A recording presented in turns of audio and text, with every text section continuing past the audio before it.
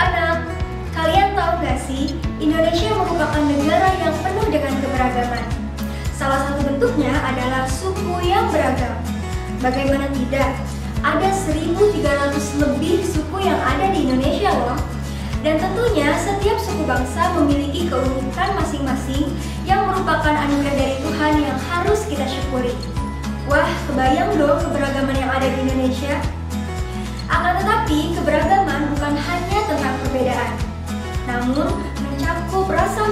Menghargai dan menghormati.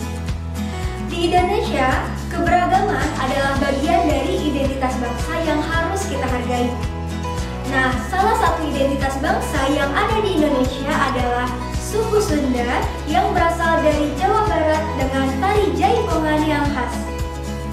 Dan masih banyak lagi suku-suku bangsa di Indonesia